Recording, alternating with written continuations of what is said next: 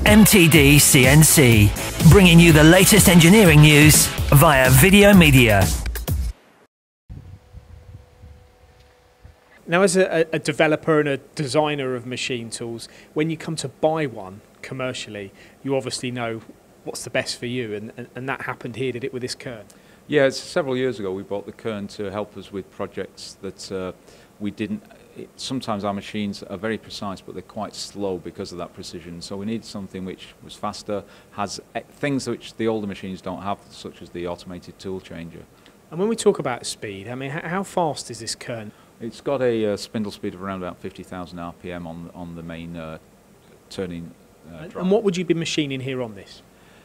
We do a lot of the, we use carbide tools sometimes rather than diamond on this as well, and so we can do hardened steels for molds, for micro molding, for injection, micro injection molding, and also we can do different metals on this than we can do with our single point diamond turning, although we can put single point diamond turn tool in here as well. And, and do you recognise the quality of this machine as a result of your knowledge on building machine tools? Absolutely. You know, Kern are, are definitely one of the, the, global leaders in uh, high precision machine tool manufacturing in the world, and it's a sort of machine that we, we wouldn't even you know, try to compete with if, we, if people wanted the level of precision and the technology that's available in this machine. And it's a multi-axis machine, isn't it? It's a five, five axis or is it seven axis? It's a seven axis one actually. It's, it's uh, I'm not sure we always use all seven axes in fairness, but it, it has that facility at least.